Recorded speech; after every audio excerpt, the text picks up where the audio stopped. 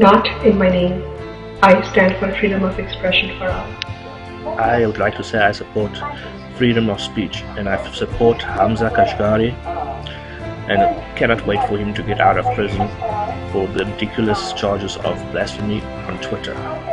You cannot punish someone for not believing what you believe or for criticizing your beliefs.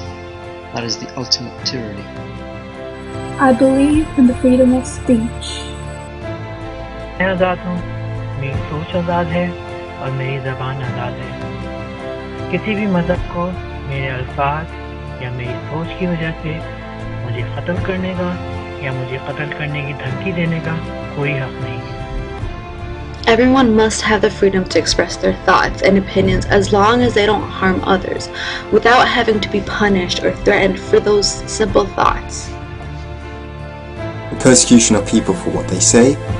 what they think, for how they dress, is un-Islamic and plain wrong.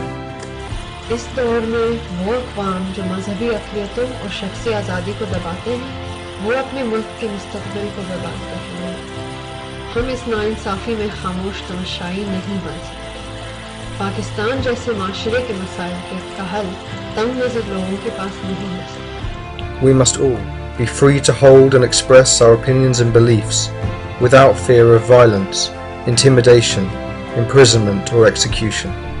إيش طبيعي أنه يكون المجتمع في تعدد أفكار وأديان وفلسفات وبالأخير كل واحد يقدر يدعو لدينه أو فلسفته شو ما كان زي ما بيحكوا بالحكمة والمواعظ الحسنة I support freedom of expression for everyone Muslims, non Muslims, ex Muslims.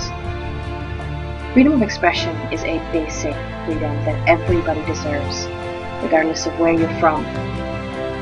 إنما أدعو إلى حرية الضمير وحرية التفكير وحق الإنسان في اختيار ما يؤمن به وما لا يؤمن به دون تحديدات أو عقوبات أو ضغط People with freedom of speech worldwide need to stand up on behalf of these victims. So if you have freedom of speech, please use your freedom to help someone else have theirs.